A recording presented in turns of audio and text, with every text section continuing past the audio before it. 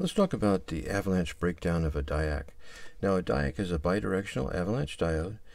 Some of them are configured like this with an NPN junction, and some like this they have uh, five layers in them. Now, we're concerned with the NP junction.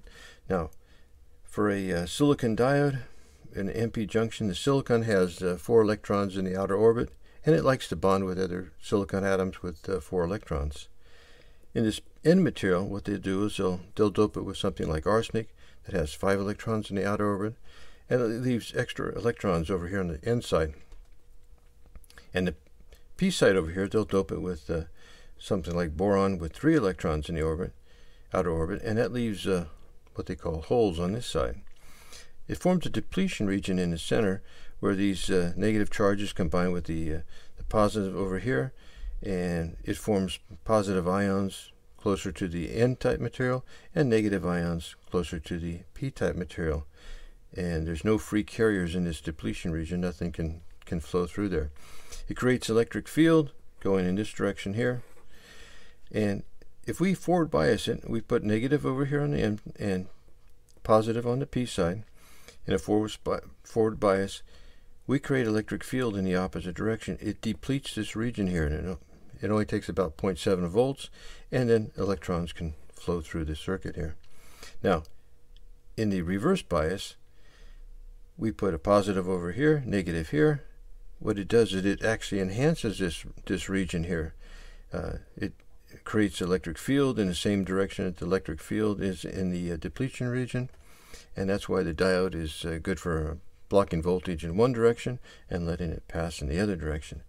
But if we just, we put enough voltage on here, uh, in case of our, our DB3 diac, it's about uh, 32 volts.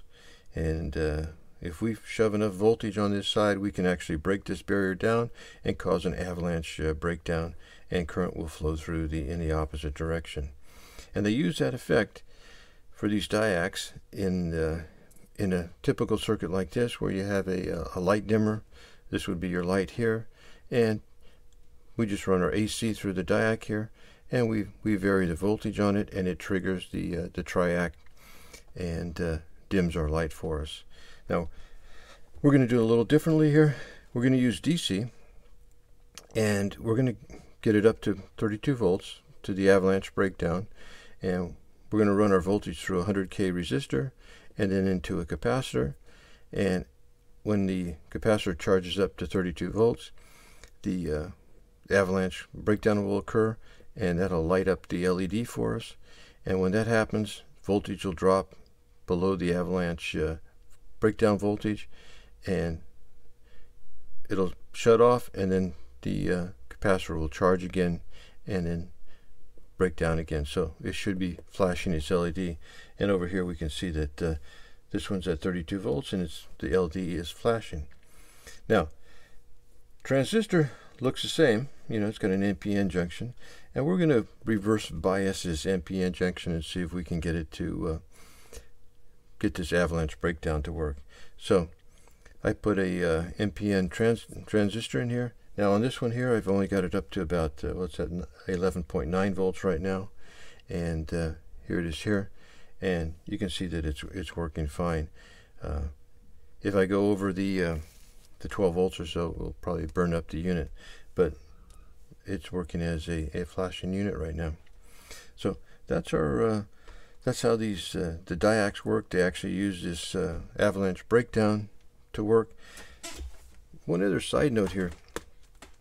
Uh, if I um, this this power supply here is just regular uh, uh, benchtop power supply, and it only puts out 30 volts. Not enough to to make this one uh, work. So this one here is off of a, a, a variac transformer and going through a uh, bridge rectifier. Now, on a uh, on a variac transformer, it's not grounded. This this this is the negative side here. It's got potential to ground because these two legs aren't grounded here. And uh, what I'm, going to do is I'm going to put a uh, test the voltage here. So let's get this over here. Now I'm putting this on here, and I'm actually going to tie this touch this to the uh, case of my my scope. Let's see what we got. There we go.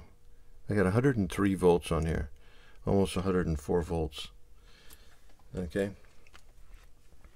Now, uh, obviously, if I actually put my scope on there, I wouldn't have a scope anymore. So uh, you have to be very careful when you're using two different power supplies, especially when you're using a, a Variac. Even though this is DC here, I'm getting some AC off of there, 104 volts to, to ground, okay?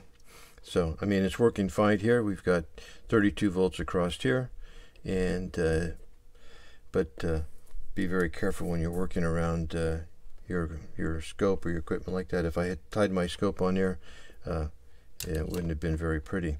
So anyway, uh, that's the uh, a DIAC and the avalanche breakdown. Thank you.